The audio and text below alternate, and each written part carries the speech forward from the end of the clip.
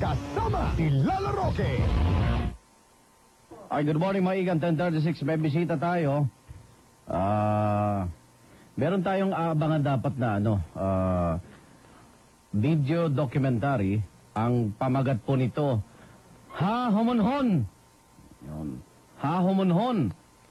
Isa pong documentary film kaugnay ng ah, istorya ng isang lalaki, si Eladio Princilio or si Tata Lajing may gusto niya ma-reclaim yung kanyang lupa mula sa isang multinational mining firm. Uy, napapanahon nito ah, minahan. Hmm. Anim na po yung survivor doon sa minahang sa Itogon, Benguet. Hmm. Ito naman, ah, nakalagay doon sa kanyang ah, lupa, no trespassing. Eh, lupa niya yun eh. Ayan. So, ang Humunhon, isang isla po yan sa lalawigan ng Isar Samar sa Pilipinas sa southeast side ng Leyte Gulf. At ang lugar na ito ay kilala bilang isla kung saan na unang ah, dumaong si Ferdinand Magellan. Yan, sa Humunhon. Okay, teka, may bisita tayo dito. Daniel Cañada, siya po ang producer, volunteer. Ah, good morning, good morning. Ayan, eh, kanya-kanya tayong mikropono dito. Aning TFDP? Uh, Task Force Detainees of the Philippines. Ayan, okay. Si, ano to, Charu? Si- Charen? Oh, Escala. Direct, kayo po, ay direct, good morning po. Baka, baka may natitira pa kayo mga indie films dyan, ha? Ito lang po ako. Teatro po ako. Hmm, Binuvolunteer yung sarili. Si Marina Amoroto, residente po siya ng Homonhon ah, Island at miyembro ng Homonhon Environment Rescuers Association. Kayo po, ayan, okay. Mamaya makikipagkwentuhan din ako sa inyo, Ma'am Marina. At syempre, itong si Raymond Enroso, editor namin at ka- kilala kita. Siya katulong dito sa pagbibigay ah, mulat kaugnay ng ng ah, flight ng ating mga kapatid diyan sa Umonhon. Okay. Daniel, ano bakit nagka-interest kayo na ah, gawa ng dokumentaryo itong itong ah, isla ng Umonhon? Ang konsepto ng paggawa ng video dokumentaryo Oo. ay nagsimula nung makita namin ang mataas na potensyal ng distroso sa isang ideal na community sa Pilipinas Mhm. at pagkasira din ng isang malaparaisong isla. So ang paggawa ng dokumentaryo, magandang materyales siya para ipamulat, no? Mm. Oo. may mga iba-iba tayong medium pero yung nakita mo, ito, dokumentaryo. Oo. So yung mga gumanap ba dito, mga totoong totoong tao sila, hindi sila artista? Totoo yan. Ta, Oo. Ginawa namin na wala itong narration, wala itong voiceover. Ara, kinuha namin talaga yung actual na nangyayari sa isla para ipakita namin ang imahen na ito talaga ang kaganapan. So yung yung natural na tunog Totoo yan. ang magpaparamdam sa atin para para kumilos at tulungan itong mga taga Humonon Island. Hanggang ngayon ba nangyayari yung problema ron? Oo, mas lumalala pa. Oh. Teka, yung mining company, ah, andun pa ba?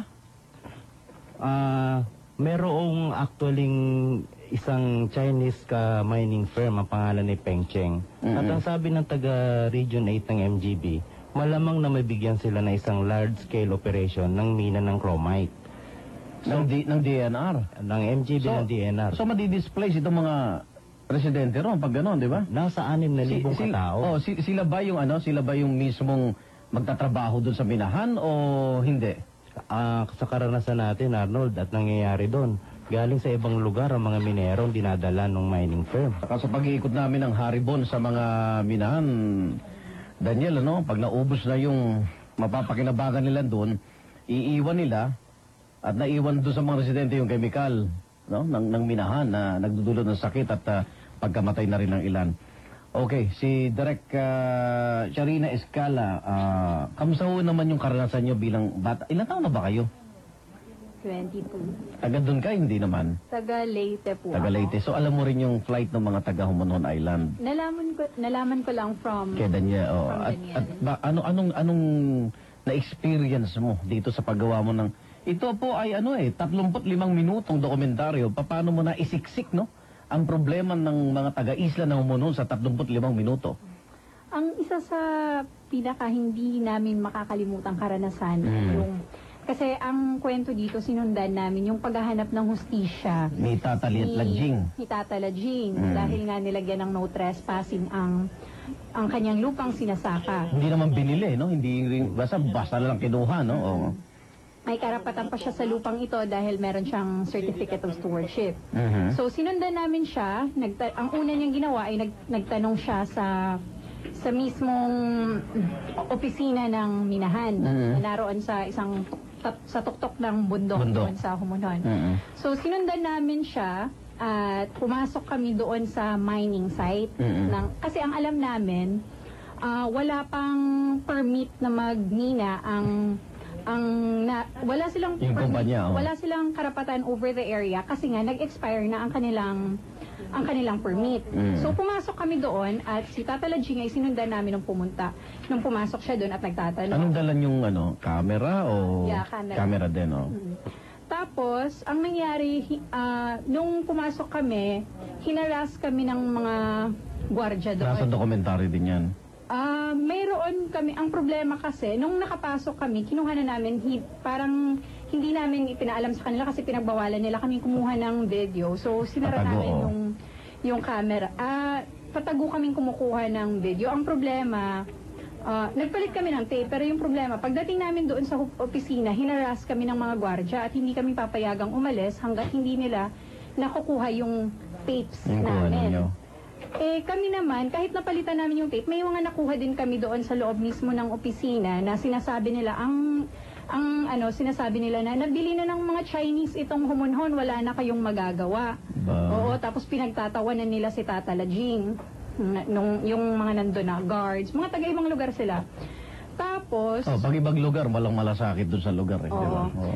Tapos kinonfiscate nila yung tape na nandoon. Mabuti na lang yung nakuha nilang footage namin ay 15 minute, mga 15 minute. Pero it was so important kasi nga nakuha namin yung pagtawanan nila, yung tinatawanan nila. Yung natira sa inyo? Tatalajing. ha? Yung natira sa inyo, nagtatawanan, yung... Hindi, hindi. Yung na- nakuha nila ay yung 15 minute footage Ah, lang okay. na, na tape. Na tape. Kaya lang, important din siya sana doon. Hmm. Hindi nila nakuha. Kasi, yun sinasabi nila na, nabili na ng mga Chinese itong humunhon, wala na kayong Hmm. Pero magagawa. may, mas may pinakamaganda namang camera, yung mata natin, eh. Di ba? Ah. So, i- i-voice out na lang ni Tata Lajing yun, di ba? Ano Nakare- daw nakarecord. pinag-uusapan natin dito ay 11,800 hectares na public land siya Oo. na, na, na mukhang napapailalim ito doon sa kasunduan ng Pilipinas at ng China na magbibigay ng 2 milyong ektarya ang Pilipinas sa China para gamitin ng ng People's Republic of China. Kaya nag-aalala kami. Oo. May mga naninirahan dito. Mahigit sa 6,000 pamilya ang dumidepende doon sa isla. At hindi sila mahirap, Arnold. Ang kaibahan dito sa isla na to, ang mga tao ay nakatira sa isang bahay na gawa sa matibay na materyales. Merong maluwang na Mga bakuran. middle income sila o Sapat ang kita nila hindi mula sila sa yung dagat. parang settlers lang na Tama. ano, no? Oo. Daang taon na nabubuhay ang kanilang angkan doon sa isla. Mm. So, kung kaya nakakalungkot kung si Magellan eh, nirespeto yung Homonhon Island.